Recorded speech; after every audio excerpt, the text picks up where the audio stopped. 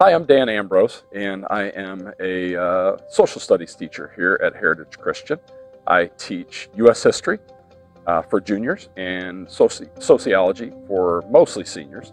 And then for the past five years, I've taught an elective called World War II, and that is a one semester course. So I get to teach the real fun stuff, at least in my opinion, uh, the, the great fun classes for 24 years. Uh, 22 or 23 of those years are the varsity as the varsity head coach, uh, which I still serve as.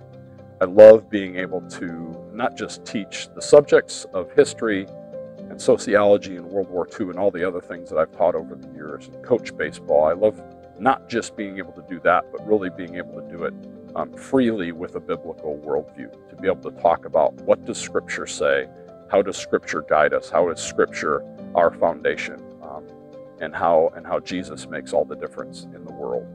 Um, not just as a, uh, I guess, a, a religious, a set of religious rules, but truly a relationship. How does your relationship with Jesus really govern um, how you do history class and math class and how you do homework and how you do baseball and sports and, and mock trial and all the other awesome things, uh, robotics, the play, all the things that we have here. I love the fact that I don't have to put Jesus in a little compartment uh, while I teach, while I coach, and, and kind of close that door and not let the kids see that. But I get to let the kids see fully who I am as a teacher.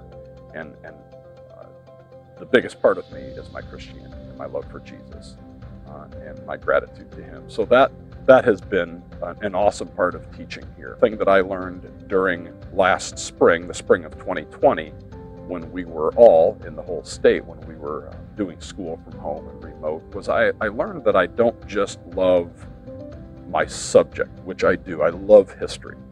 Uh, I love sociology. I love World War II. Those are great subjects. I love reading books about them. I love thinking about them. Um, but I don't just love the subject. What I really learned for the first time after 27 years was I love teaching those subjects to high school kids. There's a big difference between just just loving a subject and being able to teach it to a bunch of 17 and 18 year olds. Um, it's just a blast. They're hilarious.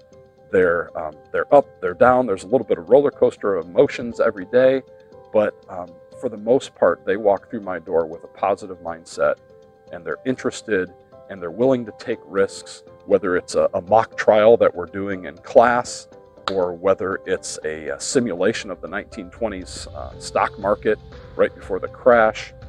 Um, it, it's a, a, simulation of a Civil War battle and, and, planning out a Civil War battle.